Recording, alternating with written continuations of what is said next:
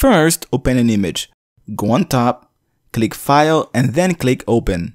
So as you can see here, I have this geek icon, so I'm going to choose that to create my animated GIF.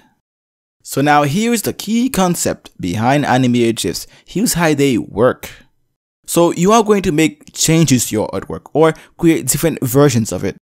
And then each of these changes or versions you are going to put in a separate layer. So then when you are done with your artwork, you play these layers of frames in sequence one by one really quickly, it will look like an animation. And for my case here, for this geek icon, I'm going to create a blinking animation. And to do that, I'm going to erase his eyeballs in some layers and keeping them in others. So now I'm going to hit Command or Control J on my keyboard to duplicate this layer. Command J if you are on a Mac and Control J if you are on Windows. So I'm going to create five different layers or versions of this artwork. And now let me name them 1 through 5. Just to make it easier, of course.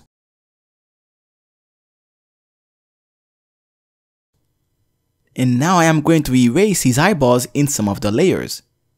Alright, now my layers are perfectly organized now. So now let's create our animation. So now go on top, click window, and then click timeline. Once you do this, you see this new section on the bottom. So go on the bottom and click create frame animation. So then go to the right click this menu icon and then click make frames from layers. And now you can customize your GIF. You can adjust your timing for each frame or layer. Okay, let me set up the timing for my animation for this geek. All right, all right. So there you go. And let me hit play. So as you can see, I now have a nice, simple blinking animation.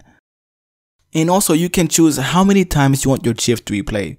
By default, it is set up to be forever and really that's the best option. But if you want, you can customize that and make it replay a specific number of times. Alright, we are done. So now to finalize everything, go on top, eh, click File, click Export, and then choose Save for Web. And finally, click Save.